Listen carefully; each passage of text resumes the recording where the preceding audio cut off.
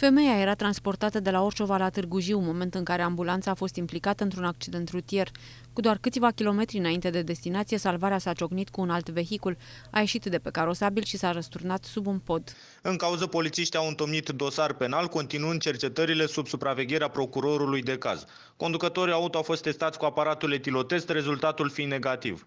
Toate cele patru persoane aflate în ambulanță au fost preluate de un alt echipaj și transportate cu răni serioase la spital. Medicul are o fractură radiocarpiană, refuză internarea și merge la localitate de domiciliu cu ambulanța.